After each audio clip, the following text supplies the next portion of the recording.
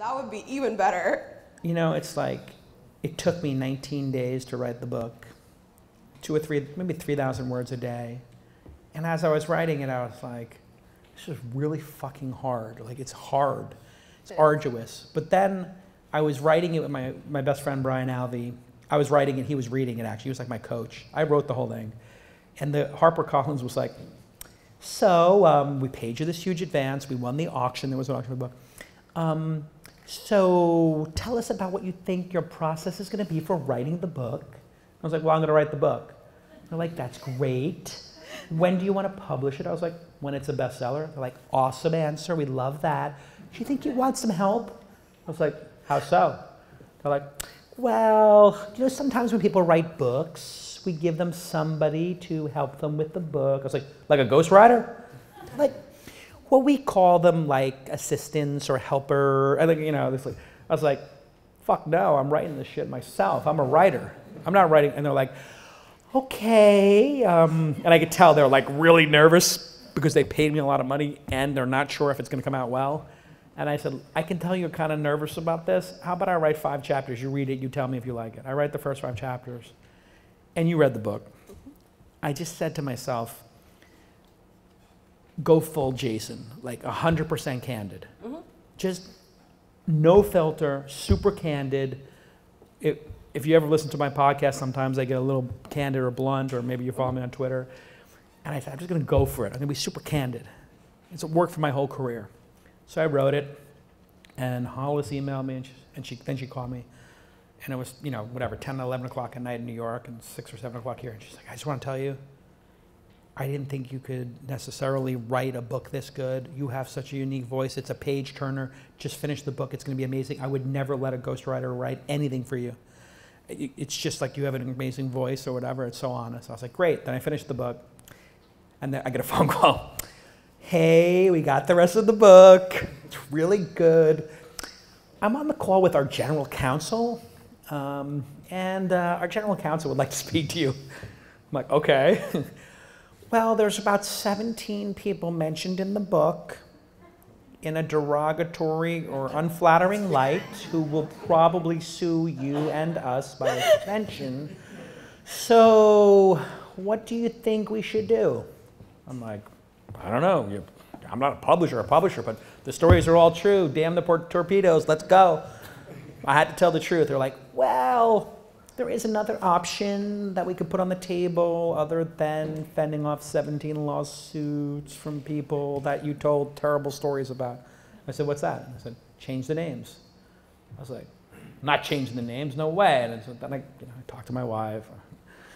She's like, why would you want to go to war with 17 people when you could just change the names and make them a composite? It doesn't add anything to the book. You, you already have seven active wars with people. Like, do you really need to have 25? It's like, God, you're right. You know, enemies accumulate, right?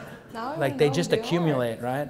Mm-hmm. And so I was like, okay. So then Brian and I went to the book. We changed everybody's name. We changed all the companies. We changed what they did. Stories are all true. Mm-hmm. And you read the stories. Yeah, that's And- how it became food right now. There were some brutal stories in there. Yeah, Which one is the most brutal, do you think? We'll see if she read the book. the guy you called an asshole and fought with, Okay. canceled on you. Oh, that was brutal. Yeah, I was like literally like, oh, okay. And there was a few places in the book when they've just started like. This is in my crazy years. I'll tell Yeah. the story briefly. Oh God.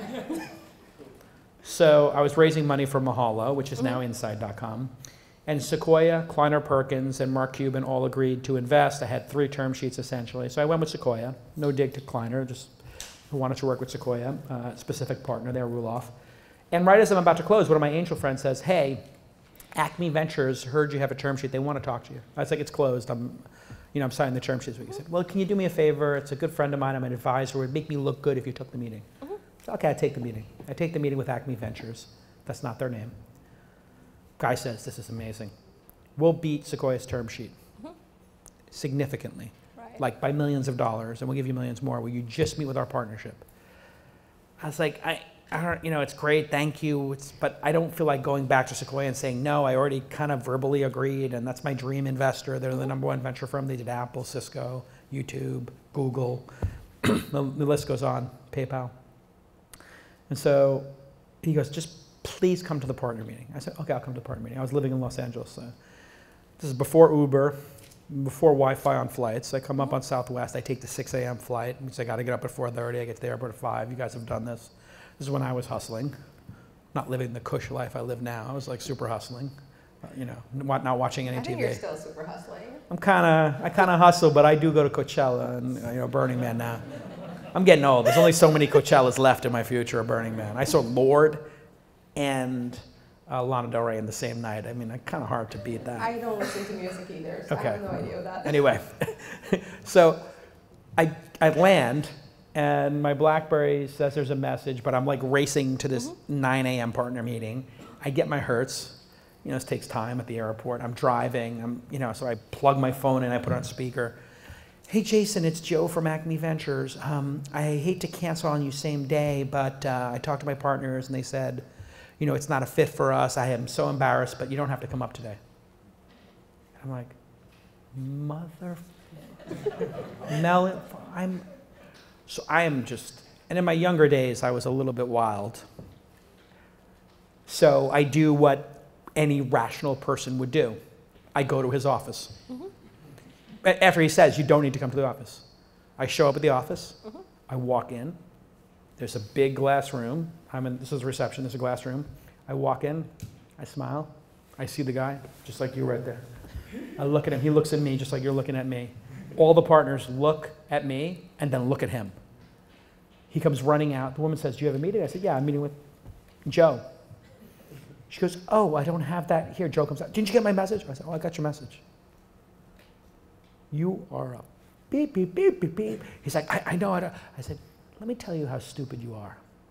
This is like, as insane as I was, it's embarrassing, but I had this thing where if somebody was stupid, I felt it was my moral obligation to explain to them in detail how stupid they were.